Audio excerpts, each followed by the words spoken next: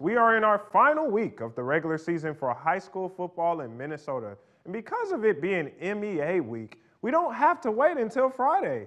All games are taking place on Wednesday. Now, for the second week in a row, a rivalry game will be the game of the week Albert Lea versus Austin. I call it A versus AL and KAL, but it's better known as the Battle of I 90.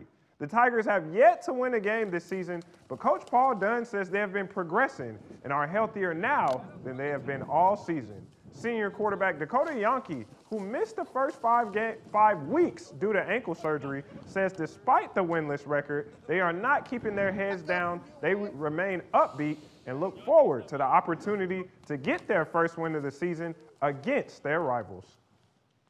I think it'd be almost uh, culture changing and just changing the whole system with how everyone looks at the team. I mean, we've been trying to look for the wins just to get more people with the system, and especially if we get the last win against our rivals, I think it'll bring a lot more hype around the football team. Kickoff for Wednesday's game is set for 7 p.m. We'll hear from Austin side on Wednesday before the game.